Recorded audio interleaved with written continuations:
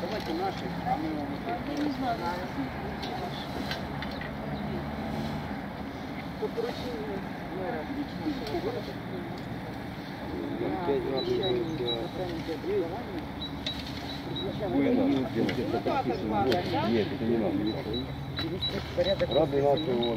И вот сегодня я предложила работникам отдела образования провести такую вот акцию по уборке близлежащей территории. Люди активно откликнулись, соскучились по весне. Сегодня очень дружно все вышли и работали с отличным настроением. Если вы посмотрели, уже территория практически убрана. Настроение хорошее, праздничное, весеннее. Надеемся, что весна-лето будут под таким же настроением проходить. В школах проходят такие же акции. Во всех школах проводят уборку территории как детьми- с детьми, так и сами учителя.